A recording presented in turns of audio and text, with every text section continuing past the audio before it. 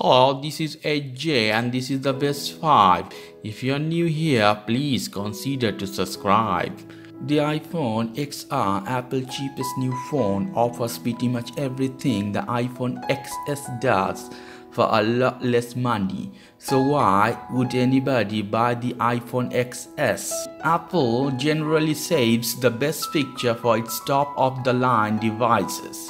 But this year, its cheapest new model is looking especially good. The company last September unveiled three new iPhones, the iPhone XR, a new cheaper LCD version of iPhone X starting at $749, the iPhone XS, an enhanced version of iPhone X beginning at $999 and the iPhone XS Max, a large screen version starting at 1099, Apple will likely continue to draw interest for its most expensive phone from hardcore fans, but iPhone XR might prove surprisingly popular in the way that Apple hasn't seen the large-end phones. So paying between 1099 and 1449 for an iPhone sound a little crazy but the iPhone XS Max to specific kinds of Apple consumer the device boasts 6.5 inch screen, the largest ever for an iPhone,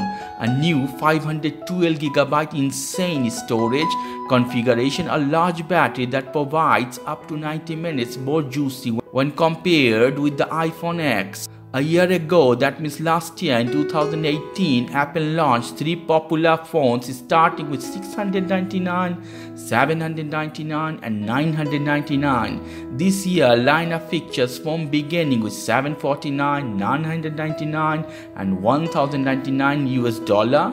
That's not a very big jump from the lowest tier to new iPhone, but is a massive jump for the middle of the pack option and the phone is not better than one below. It's not so clean who the iPhone XS belongs to and Apple rigs the chances of this device to the cheaper iPhone XR. Like its predecessor, the XS offers edge-to-edge OLED skin facial recognition and dual camera on 3D touch. The iPhone XR offers an edge-to-edge LCD screen facial recognition, a single camera that can still take portrait mode and a good quality picture and haptic feedback that gives user a sense of feedback in lieu to full on 3D touch. For many iPhone consumers, the presence of Touch ID and the difference not worth an additional $250. Both phones make use of Apple new A12 Bionic chip, which the company said that industrial first 7 nanometer chip. So consumer would be getting faster processing and advanced feature in either device.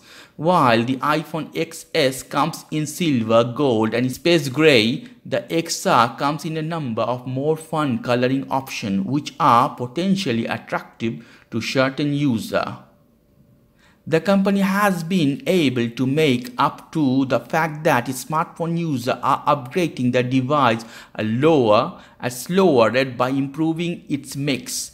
In other words, the company has been able to sell fewer devices for more money and reap handsome profit.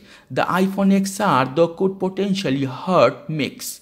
It costs less than the iPhone 8 Plus and could lure good chunk of customer away from the iPhone XS by offering nearly identical feature at the way better value. For context, the iPhone starting price 749 is about what analysts expect the company overall iPhone average selling price to be this year and next.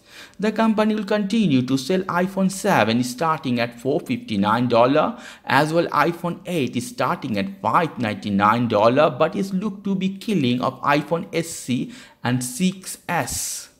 Apple shares closed down 1.2% in last September but rebounded for 2.4% on last week of the September. The stock is up 41.8 over last 12 months. Okay, so it's up to you what you want to buy a $1,000 phone, a $749 phone or 1000 or 1400 they basically look the same only have some difference in cameras okay put your opinion in the comment section let me know what you like If you like our video, please subscribe to our channel that is the Best 5 and please hit the bell button for further notification. If you like this segment, please give us a like. Take care till then. Bye-bye.